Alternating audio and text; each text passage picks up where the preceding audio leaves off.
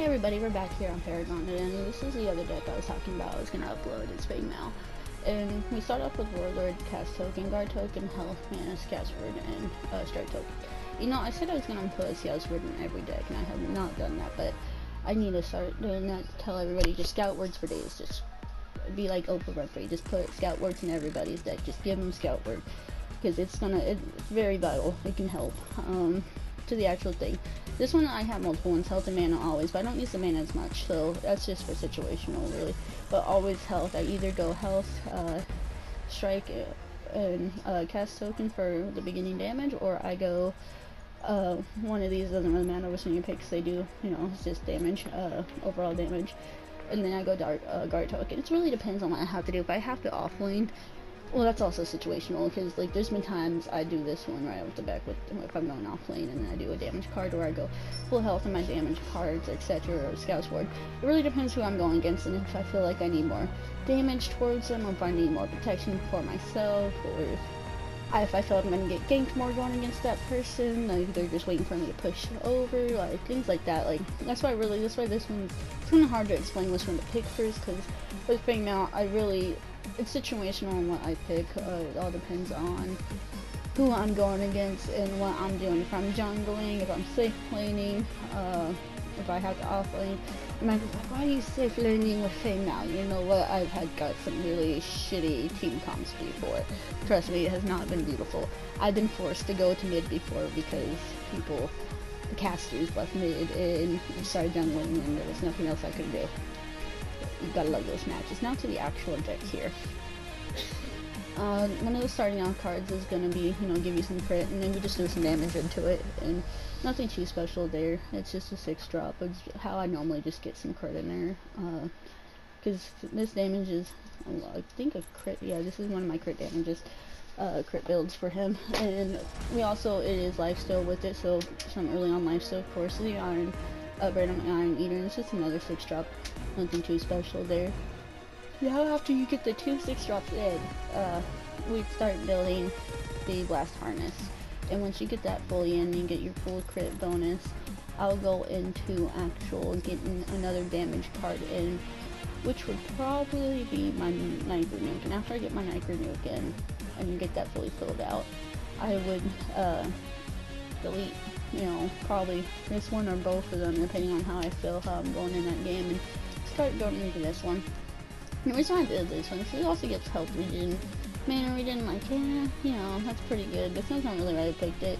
My main source uh, was because of its unique passive. Life Steal will overhaul, granting a shield that absorbs uh, damage for 3 seconds, uh, 3 seconds, maximum 10% of max health. Uh, I can talk, I swear. But yeah, you can read. Uh, basically, I did it for the shield of the overhaul. I think it's really nice. Um, we dropped a 3 and, you know, 2 kills to make it a 12. That would be our crit card for that. Um, and then after you get that in, I'd start working on the rest of it, you know, getting... I'd use that one as the very last card you fill it out. The impact hammer it doesn't matter if you have like two micronukes if you want two impact hammers. I don't have two of those, so I just had to do the impact hammer and micronuke. No big difference between them, basically the same card. Um, so over here we have random iron eaters, what I would do next. Get your life still in there as uh, fast as possible. And then after, you know, you get that filled out, like I said, I start working on your last damage card, and that would basically be your Feng Mao right there, um, how you would work that. Unless you guys do it differently, like these exits, just, I say how I do it, uh, how you would start out with, and what you want to do is up to you really, um, what you want to switch around, because you might not even use that, you might just use some of the things I use and make your own way how you feel you should be, and that's what I try to do with these decks, like, go what I will do, and if you guys want to mix it up, take shit out, replay shit, go, it's, you know, go wild with it, have fun, um, that's basically what MOBAs are here for, uh, you know, just go have fun, it's sad to see, like, sometimes I can understand the frustration when you get people like we had.